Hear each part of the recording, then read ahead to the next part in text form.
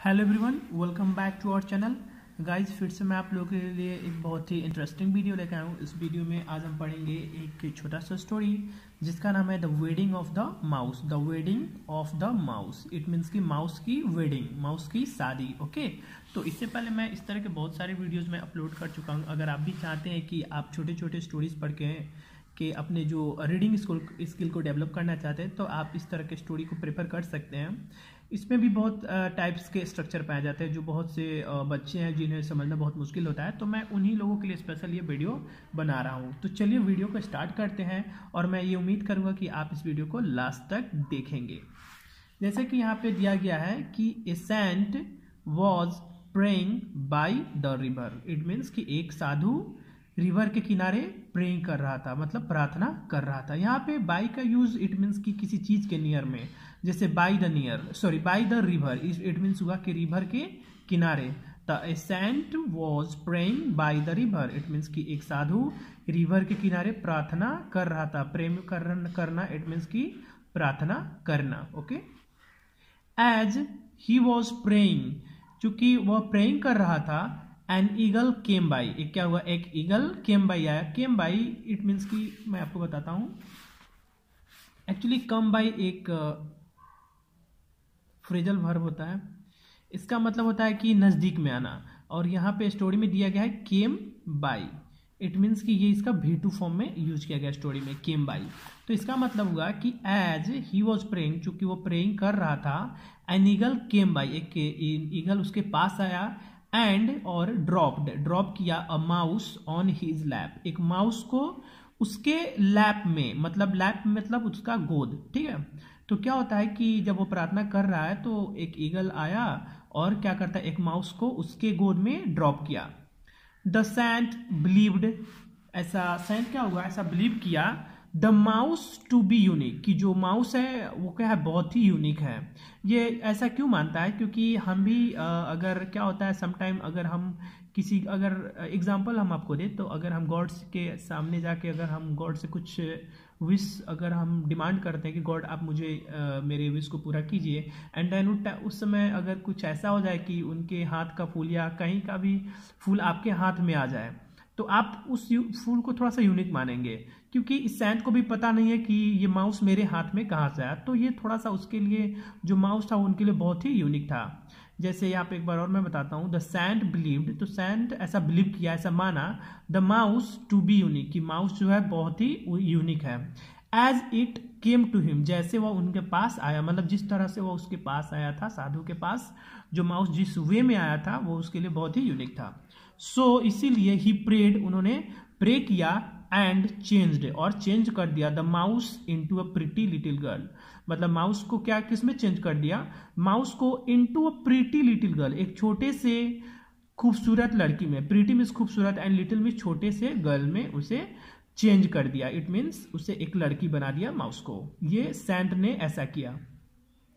अब क्या बोलते हैं घर पे जाके अपने वाइफ से? लुक माई डियर वाइफ क्या बोलते हैं कि देखो मेरी प्रिय पत्नी I have brought home this little one I have brought home this little one मैं इस लिटिल वन को मतलब मैं इस लिटिल वन को घर पे लाया हूँ। ये लिटिल वन उस लड़की के लिए यूज़ किया गया स्टोरी में कि वो ये बताना चाहते हैं कि मैं इस लड़की को घर पे लाया हूँ। फ्रॉम टूडे आज से she will be our daughter ये हमारी डॉटर होगी. She will be our daughter it means कि ये हमारी बेटी होगी. ही सेड ऐसा उन्होंने घर पे जाके अपने वाइफ से बोला. The saint and his wife to care of the little child अब क्या होता है? जो सेंट है और उसकी वाइफ है टू केयर ऑफ़ मतलब ख्याल रखा द लिटिल चाइल्ड मतलब लिटिल चाइल्ड को. यहाँ पे आप देख पा रहे होंगे टू केयर ऑफ़ इसका मतलब क्या होता है? मैं आपको बताता हूँ. जैसा कि अभी मैंने कम कॉम बाई का यूज़ बताया, उसी तरह मैं यहाँ पे आपको to care of I mean ये एक टेक केयर ऑफ़ इज़ होता है टेक केयर ऑफ़ इसका मतलब होता है ख्याल रखना। क्या करना? ख्याल रखना, ये एक फ्रेजल वर्ब होता है। फ्रेजल वर्ब होता है। इसका मतलब होता है टेक केयर ऑफ़ का ख्याल रखना, और इसका भी टू को यूज़ यहाँ पे किया गया है टूक केयर जी हाँ टू केयर ऑफ़ एक्चुअली भी टू फॉर्म होता है, और इसी को स्टोरी में यूज़ किया गया है, ठीक है? तो यहाँ पे आप देखिए the saint and his wife to care of the little child जो सेंट है और उसकी जो वाइफ है, उसने क्या किया? लिटिल चाइल्ड का टू केयर ऑफ़ किया मीन्स की उसका ख्याल रखा। सी वेन सी ग्रू अप जब वो बड़ी हो गई, यहाँ पे भी भी टू का यूज़ किया गया है ग्रो अप ग्रो अप का मतलब मैं बताता हूँ आपको। जैसे grow up okay grow up means होता है बड़ा होना, जैसे हम क्या होते हैं, पहले बच्चे रहते हैं, बाद में ग्रो अप हो जाते हैं। तो ये भी वन फॉर्म में है और ये भी एक फ्रिजल वर्ब है और इसका भी टू होता है ग्रू अप ग्रू अप ठीक है? ग्रू अप इसका भी मतलब क्या हुआ? बड़ा ही होना बट ये क्या है? भी टू फॉर्म में है ओके तो इसी का स्टोरी में यूज़ किया गया है।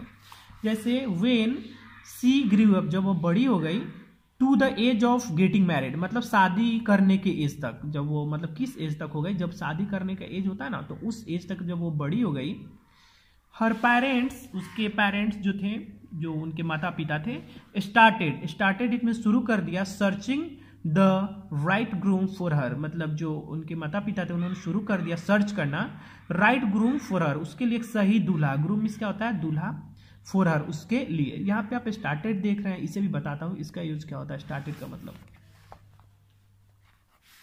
जैसे स्टार्टेड स्टार्टेड स्टार्ट स्टार्टेड का मतलब कोई चीज़ शुरू हो जाना। जैसे मैं अगर एग्ज़ाम्पल के तौर पे बात करूँ, जैसे हम लिखें, Ram started crying it means Ram रोने लगा, राम ऐसा करने लगा, राम ऐसा शुरू कर दिया। तो हम ऐसे बोलेंगे, राम स्टार्टेड कराएँगे इट मीन्स कि राम रोने लगा, या ऐसे बोलेंगे, राम रोना शुरू कर दिया, इस तरह बोलेंगे। एंड सेकेंड एग्ज़ाम्पल ले तो मैं बोलूँगा he started playing cricket he started playing cricket मतलब वह क्रिकेट खेलना शुरू कर दिया। या ऐसे बोलेंगे वह क्रिकेट खेलना खेलना शुरू कर दिया। वह वह क्रिकेट खेलने लगा। तो स्टार्टेड का हम ऐसे यूज़ करते हैं। ऐसे स्टोरी में दिया गया था, इसलिए मैं सोचा कि यहाँ पे आपको डीपली थोड़ा सा इस पे इसको हम एक्सप्लेन करें। ठीक है? चलिए आगे देखते हैं स्टोरी में। यहाँ पे जैसे हुआ कि started searching the right groom for her और उसके लिए क्या करने लगे? जो उनके पेरेंट्स थे, एक सही दूल्हा ग्रूम इट मीन्स की दूल्हा उसके लिए खोजना शुरू कर दिया। The saint took her her to the sun और जो सेंट था उससे क्या हुआ? उसे मतलब सन गॉड के पास ले गया। जो उसकी बेटी थी, उसके फादर जो थे, वो अपनी बेटी को कहाँ ले गए? सन गॉड के पास ले गए। यहाँ पे आप देखिए टूक टू टूक टू का यूज़ इसका मतलब क्या होता है? इसे भी बताता हूँ। देखिए। टेक टू टेक टू का मतलब होता है किसी को कहीं पे ले जाना, और इसका भर टू टूक टू इट मीन्स कि इसे कहीं ले गए। ये भी टू फॉर्म है एंड ए भी वन फॉर्म है। जैसे आप स्टोरी में अभी देखें, यहाँ पे क्या लिखा था कि हर फादर टूक हर टू सन गॉड मतलब इसका मतलब क्या कि उसके पिता टुक हर इट मीन्स उसे ले गए टू द सन गॉड मतलब सन गॉड के पास। तो टुक टू का मतलब या टेक टू का मतलब क्या होता है? किसी को कहीं पे ले जाना। अब ये स्टोरी में था, इसीलिए मैं यहाँ पे इसे अच्छे से एक्सप्लेन किया। चलिए वहाँ पे भी देखते हैं, जैसे the saint took her to the sun god मतलब सन सेंट उसे सन गॉड के पास उसे ले गया। और वहाँ पे जाके वो लड़की क्या बोलती है? Father he is too bright पिताजी ये तो बहुत ही चमकीला है एंड हॉट है। I can not marry him मैं इसे शादी नहीं कर सकता सी सेड वह वैसे वहाँ पे बोली, और किस तरह बोलती है? With her hands covering her face from the bright light of the sun और किस तरह बोलती है? मतलब अपने अपने हैंड से कवर करते हुए हर फेस अपने फेस को फ्रॉम द ब्राइट लाइट मतलब जो चमकीला लाइट था of the sun sun sun god का, जो सन भगवान थे उनके जो ब्राइट लाइट्स आ रहे थे, उनके उससे, और उसके फेस पे जो पड़ रहा था तो क्या कर रही थी अपने हैंड से, अपने फेस को ढकते हुए ये बात को बोली। देन तब क्या होता है कि the saint took her to the lord of clouds तब क्या होता है कि जो सैंड थे, उसे लॉर्ड ऑफ़ क्लाउड्स के पास ले गए। जो बादल के जो लॉर्ड थे, उसके पास ले गए। बट फिर वहाँ पे क्या बोलती है उनकी बेटी? But father his thunder and darkness scare में कि उसका जो थंडर है, उसका जो गरजना है और उसकी जो डार्कनेस है, जो अंधेरापन है स्केयर में मुझे स्केयर करता है, मुझे डराता है।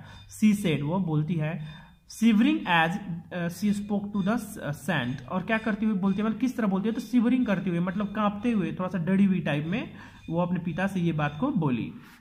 जस्ट देन जस्ट देन तभी a mouse rain pass dam. तभी क्या होता है कि उन दोनों के पास से डेम मतलब जो पिताजी थे, उनके और जो गर्ल थी उनके पास से क्या होता है, एक माउस रैन पास किया मतलब गुजरा। ओ father, the mouse is perfect. तो क्या बोलती है, पिताजी कि माउस ही ठीक है, मेरे लिए परफेक्ट है। आई सेल मैरी मैं उससे शादी करूँगा सी सेड वो वैसे बोली। With with eyes sparkling with joy और किस तरह बोलती है? मतलब जब बोली तो क्या था कि उसकी आँखों में स्पार्कलिंग था विद जॉय मतलब खुशी से उसकी आँखों में एक चमक थी। The saint was delighted saint क्या था? बहुत ही डिलाइटेड था। खुश मतलब बहुत ज़्यादा डिलाइटेड था इट बहुत ज़्यादा खुश था। सीइंग हिज डॉटर हैप्पी अपने बेटी को हैप्पी देखकर। मतलब स्टोरी तो यहीं पे कंप्लीट होता है। तो इसमें हम क्या सीखें?